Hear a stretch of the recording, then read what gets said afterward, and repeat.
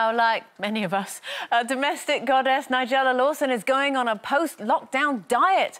But just hang on there. It doesn't mean she is ditching dessert or foregoing fondue. Instead, she's doing the Friendship 5-2 because she's got so used to not seeing her friends. She says for two evenings a week, or maybe just lunches and at the weekend, I will pretend to be a normal person, letting those strange entities people into the garden and apply myself to learning how to have a conversation again. I completely understand what she means. Do you think we should all be taking a leaf out of her book, Janet?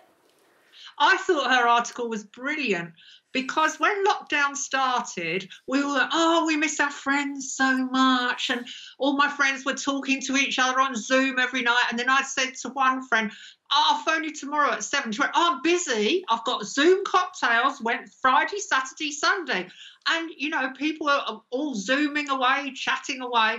And then I noticed as it went on, they all went a bit quiet because the fact of the matter is, it's exhausting being positive. And what you, all right, you only have to put your top half on.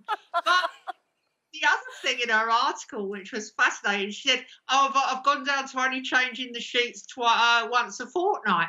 And I thought, well, actually, I I changed the sheets, I washed them, but then I fold them up, and then I thought, oh. I can actually think that I can get in a sheet that's creased now. You know what? I'm not gonna. I am gonna get in a creased sheet. I'm just gonna pull it a bit, and then I'm gonna lie on it, and that'll flatten it out.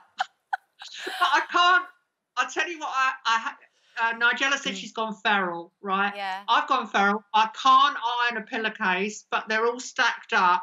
And now I think I might have to buy a couple more pillowcases because I've actually run out. I can't iron. I just can't iron. I have. I've, I mean, I've I've let things slide. You know, there's more dust on the surfaces and things are a little bit more cluttered. But that is the one thing I've kept to. I still iron on my sheets. Do you? Yeah.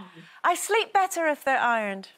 But when you stretch them, don't they just go straight? Not in the same way. They're just, oh, they're mm. just lovely. I love an iron, an iron undersheet, an iron duvet cover, iron pillowcases, everything. Well, I'm from a... I'm I don't even a... care if you think it's over the top. I just sleep better. I'm from a mother who, who goes by the Quentin Crisp thing, which is, what was it, Janet, that after four years just doesn't get any worse. so that was, yeah, so that was my mother's philosophy always. Um, but I have, I'm married to someone who has been trying to socially isolate since the 1980s, I right. think, with Lincoln. yeah. And I think that in 20 years' time, when hopefully, well, long before this is all a bad memory, Lincoln will still be going into voluntary lockdown. Right. On, on, yeah.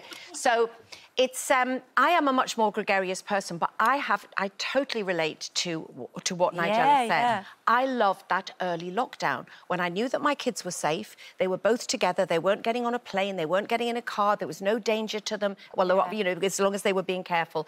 And we just loved our little sort of sneaky, you know, time together. Yeah. And I think that I mean I've never been an ironer of I've never been an ironer of, of sheets or, or stuff stuff like that. And I am a tidy person trapped in the body of somebody untidy. So I don't know how I managed to create chaos with only me and Lincoln.